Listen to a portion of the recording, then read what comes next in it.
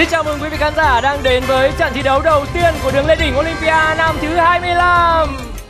Đây là một cái dấu mốc thực sự là rất là đặc biệt. Trong cái năm 25 này thì chúng tôi cũng sẽ hướng đến những cái hoạt động mà um, lan tỏa được một là cái um, sức ảnh hưởng của Olympia là một chương trình truyền hình mà tôn vinh trí thức. Thứ hai là lan tỏa được những cái công hiến của các bạn thí sinh uh, từng tham gia Olympia uh, với cộng đồng. Năm nay có một điểm khác biệt so với các năm trước đó là các bạn thí sinh khi đến với Olympia thì ngoài những bản đăng ký các bạn sẽ phải viết thêm một cái bài luận nữa. Các bạn chơi có cái tinh thần hết mình. Các ừ. bạn sẵn sàng nói lên ý kiến suy nghĩ của bản thân và uh, các bạn thể hiện là chính mình. Vẫn là cái không gian trường quay vẫn là bốn cái vòng thi khởi động của chướng ngại vật tăng tốc về đích.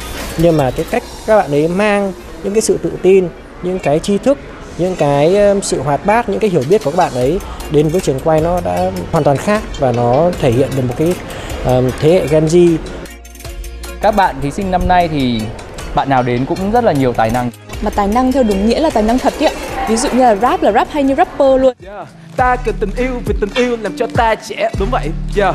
Anh cũng cần em nhưng không biết em sao. Cái sự nắm bắt các bạn ấy về những vấn đề xã hội nó rất là nhanh nhạy và các bạn ấy có thể giải mã được những cái câu hỏi một cách rất là nhanh và chính xác. Mai phát trượt không âm ạ. Bùi Thị Xuân phủ đóng thiên vương bấm chuông được khá nhiều. Em thấy nó đủ để em bấm luôn. Ấn tượng của mình đó là các bạn thông minh ạ. À, rất tự tin bộc lộ bản thân rất tốt trên sân khấu. Và đến với đường lên đỉnh Olympia năm thứ 25 chúng ta sẽ cảm nhận được một không khí. Kịch tính sôi nổi